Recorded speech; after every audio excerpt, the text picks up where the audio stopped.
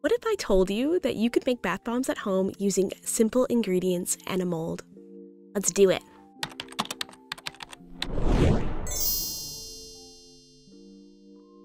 For ingredients, you'll need baking soda, cornstarch, Epsom salt, citric acid, coconut oil, and water. If you want, you can include mica powder for color and essential oils for a scent. Whatever optional colors and fragrances you use, you'll want to make sure that it's safe for your skin.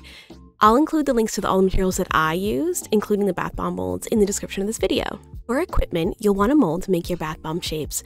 I bought these ones on Amazon and they were pretty cheap. They do seem easy to dent. You can see here that the one on the end was dented in the mail.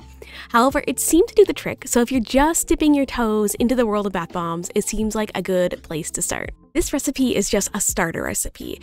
Once you've gotten this one down pat, you can experiment around with adding different materials to it, such as like maybe oatmeal or something like that, depending on what kind of bath bomb you do. But just keep in mind that as you add ingredients, you might have to adjust the other ones.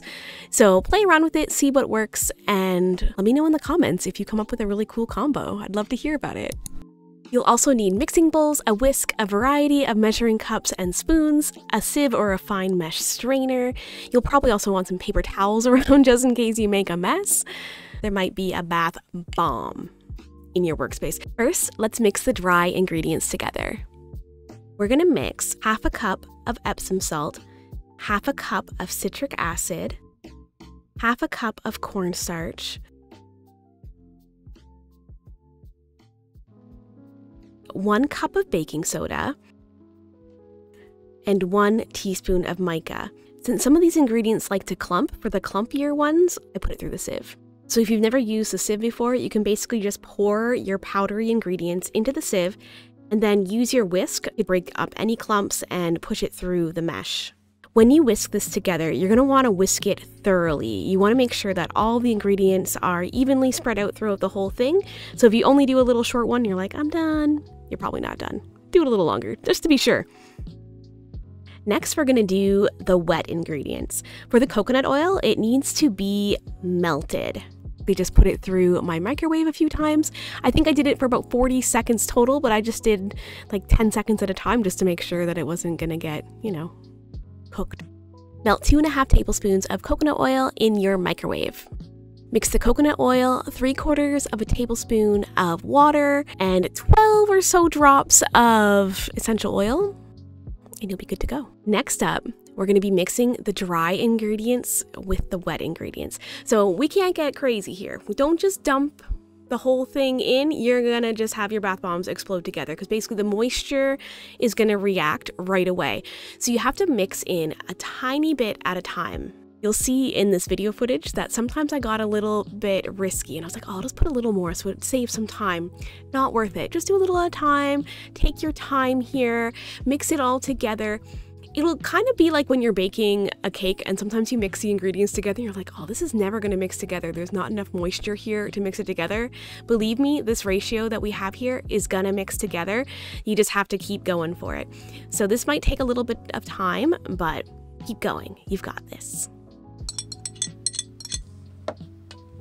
So at this point, the powdery mixture is looking good. Now it's time to put it into the molds. If you're making this for other people, you're probably going to want to wear gloves because it's, you know, I'm making it for myself and my family, so I didn't really worry about it too much. Um, I just dove right in there with my hands, but basically you're just clumping it together. If it doesn't seem like it's holding its shape, you might have not put enough water in, but you also don't want it too much water. What I like to do is I fill the mold and I'm patting it pretty thoroughly, but I'm not jam packing it. But over top, I want it to be filled over the halfway point with a little bit extra. Um, I like to powder it a little bit and then do the same for the other side. And you're clamping them together and squeezing really hard. So once you've got it together, you can rub off any excess that's coming out the sides. If it's not clamping together enough, like you can't make them, you know, touch together. You may have put too much in the two sides, so just take a little bit out, try again. You can experiment with this. I mean, the worst thing that happens is you just take it out of the mold, put it back in your bowl, mix it up with your whisk again, and try again. So now that you have a ball of bath bombs, what do we do with it? Do you take it out? Do you not take it out? In a best case scenario, you probably want to leave your bath bomb to sit for 24 hours. But if you're like me, you don't have an unlimited supply of the molds. So what I basically did, like I put them in the mold and then I pressed them together. Um, at first, I left my first one in the mold and then I moved on to my second one with the plan of basically cycling through my molds. And then once I've reached the end, I would take the first one out. But I was curious how well it was going to hold together, so I ended up pulling the mold off early. And I was impressed. It was actually staying together really nicely. So I just carefully took them off. If you're having trouble getting your mold off, you can use a spoon to hit the side of the mold just to kind of release it a little bit. If it does get stuck stuck like it's not coming off or it's sticking half your bath bomb is sticking to the inside it may be that you have too much moisture in your bath bomb mixture. So you're going to want to leave these in a place to dry. You can leave some of them in the ha bottom half of the mold if you have extra molds lying around. And you'll want to leave these for 24 to 48 hours. I've even read that you have like the optimal float capability for like when you actually put it in your bathtub if you wait a couple of weeks.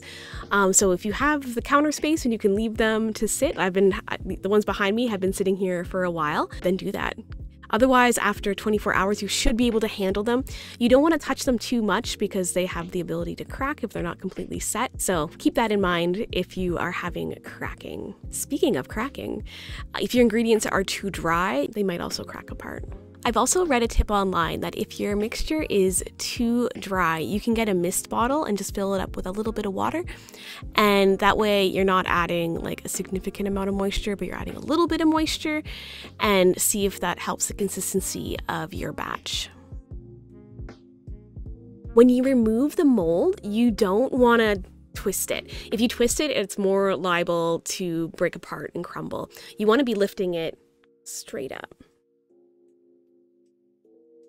All right, so we have made the bath bombs. Now it's time to test it out. You probably noticed that there is a bowl sitting behind me with a bath bomb just chilling out there. I hope it doesn't overflow. Um, yeah, I hope it doesn't overflow. let's, let's go give it a try.